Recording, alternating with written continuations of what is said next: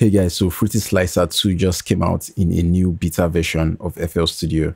And I've been playing around with this for a bit and I just thought I should do a quick video on this and show you guys how it works. So this is the original Fruity Slicer and this is a big UI update and feature update as well.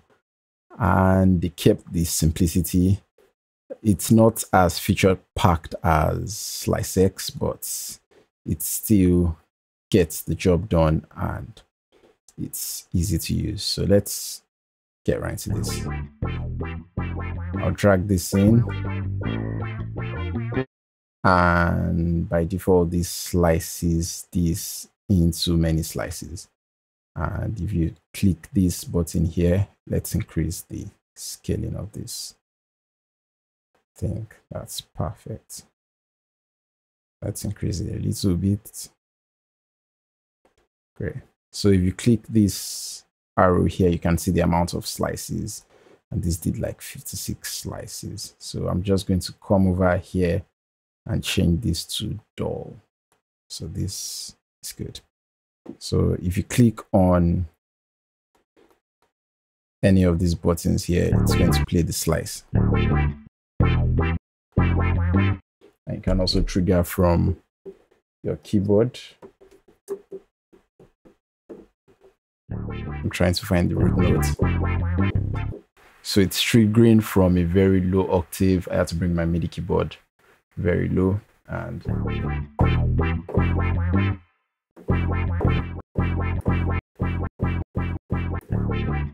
I'm just going to mess around with this and you can follow along. I've not looked into all the features in detail. So I'll be discovering a lot of what this does for the first time as well.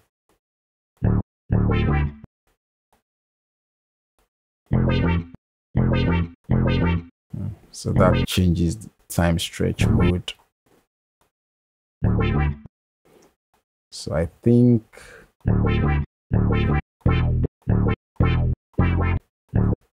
uh, this works with the slices so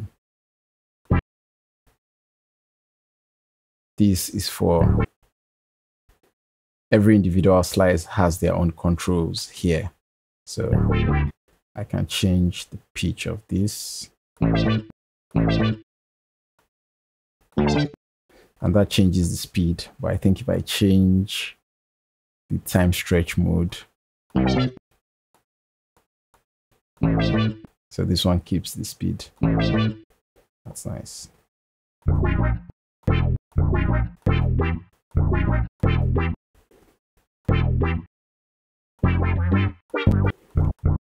So this time stretch is universal for all slices. It's a global option. And I believe this is a global option as well. So you can set filters.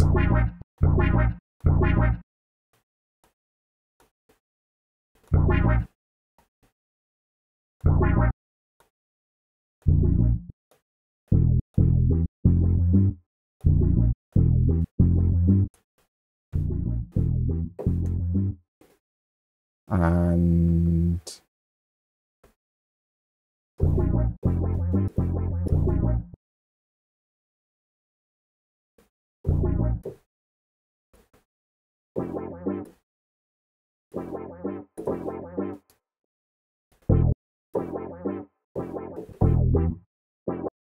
Okay, so you can set individual filters for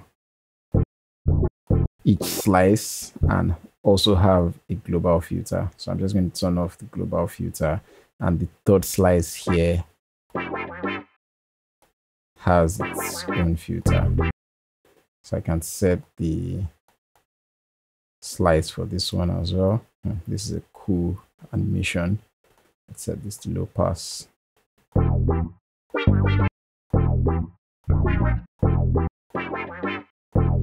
Okay, great. So you have gain, pan, attack release, and pitch options. That's transpose and detune for each slice. And you also have filters for each slice. So you can set global filters and set this to the individual slice filters as well. So I think this is the general uh, tone, sorry, pitch settings for the whole, for all the slices.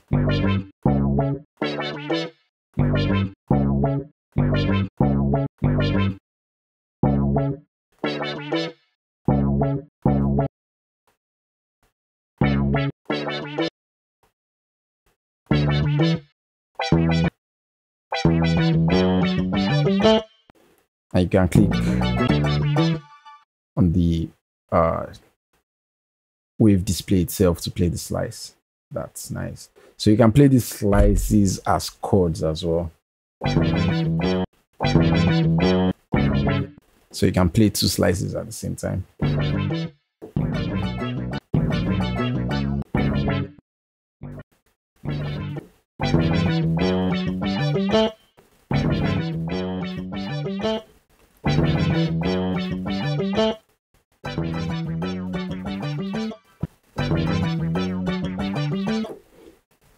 Can set this to monophonic as well so you'll be able to play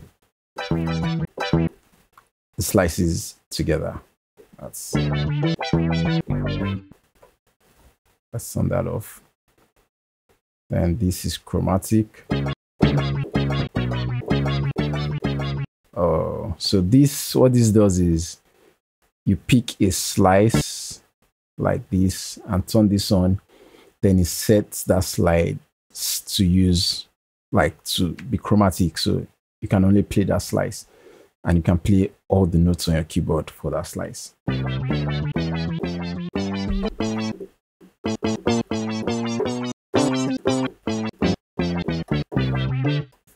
So that's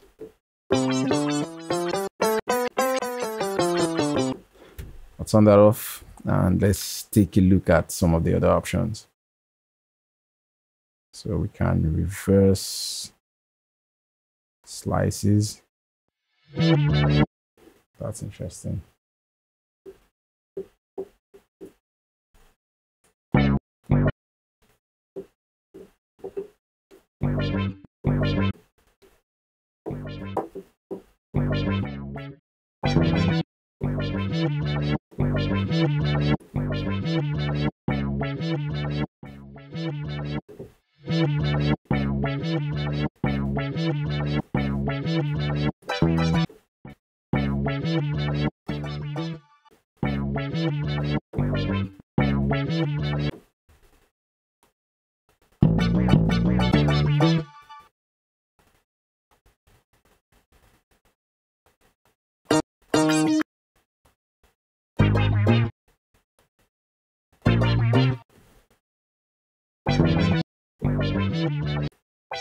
Merci.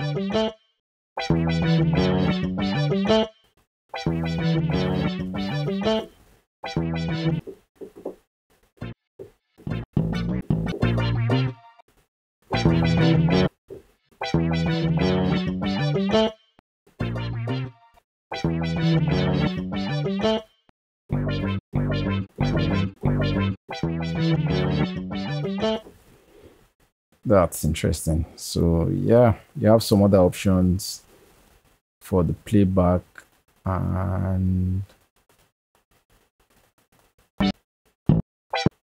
yeah, that's pretty much most of the options you have. You still have the same slicing options like you did in Fruity Slicer. You can open up the slicing Edison and edit that. You can also dump in Piano Roll. So let's try to make something interesting. So can I create extra slices? Like add my own slice marker. I don't think so. I don't think I could do that in Fruity Slicer as well. I think just slice X to create manual slices where you can move this around. Let's see. No slicing. And you can create. Let's delete this.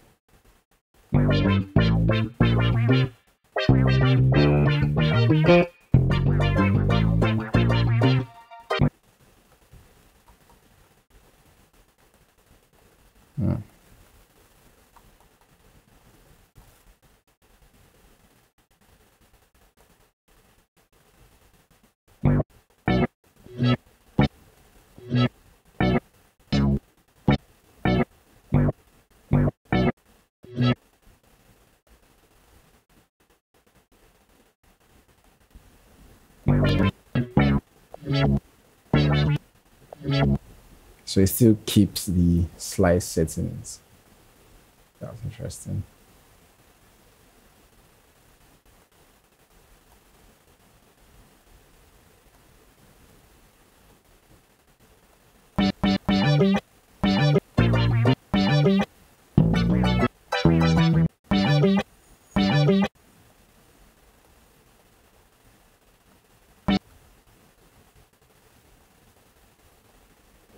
That was weird.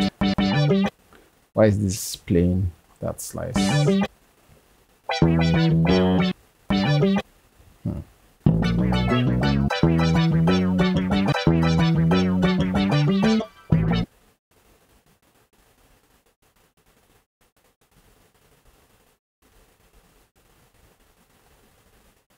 That's interesting. So you can zoom. You have some zoom options. I didn't even notice there was a scroll bar here.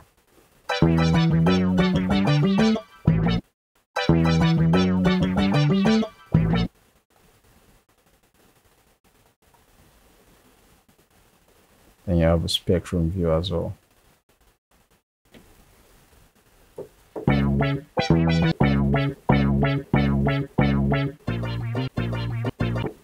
Okay, so let's do some quick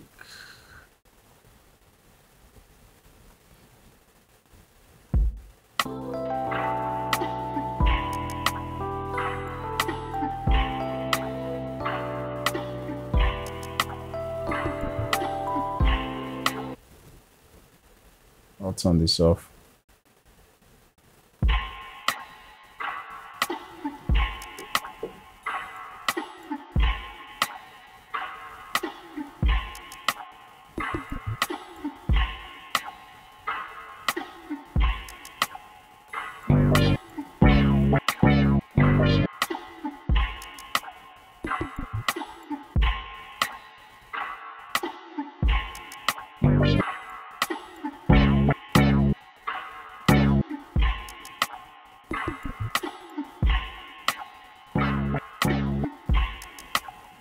So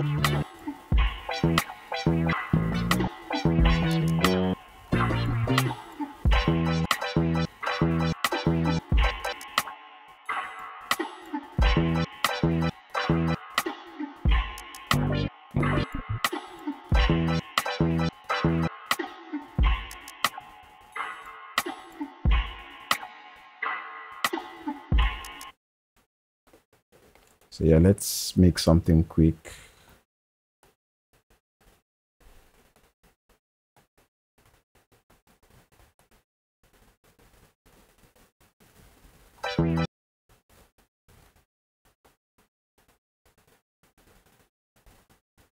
My piano roll screen is in the other screen, so I'm just going to drag it in here.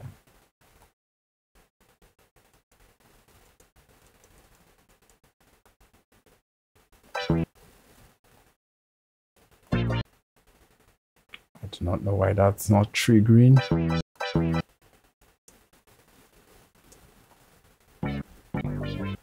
So the funny thing is this starts from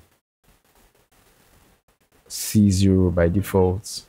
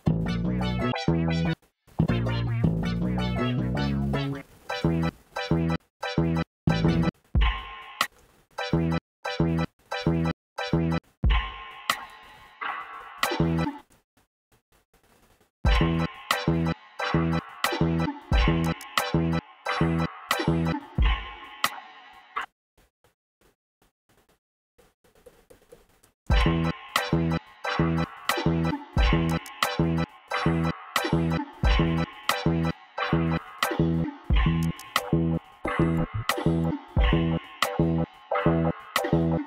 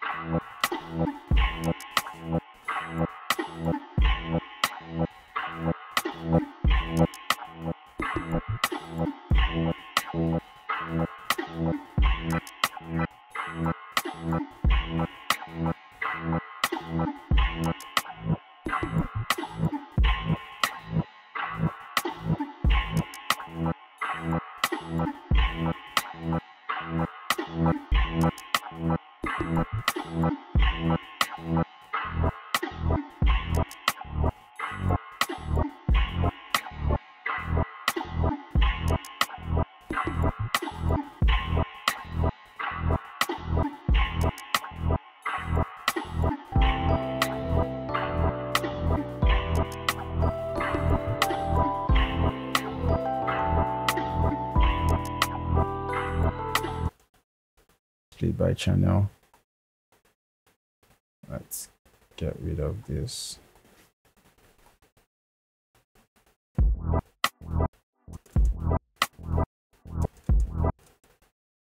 ah.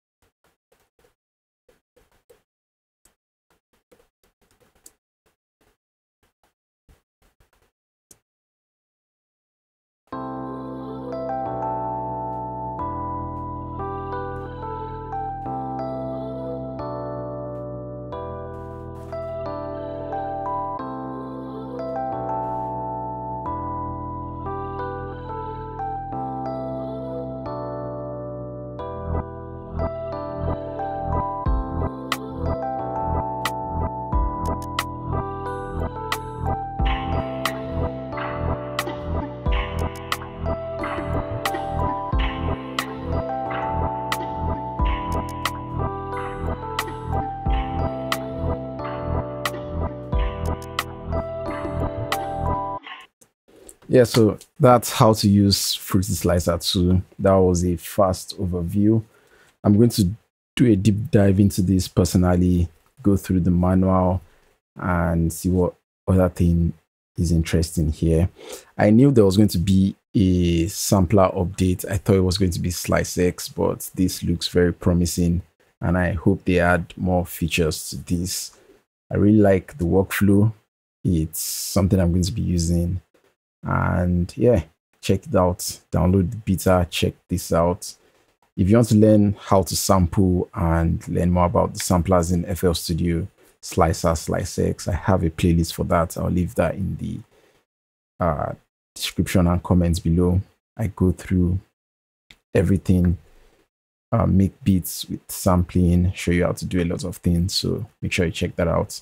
Yeah, that's the new Fruity Slicer 2. Let me know what you think. I'll see you guys in another video. Peace.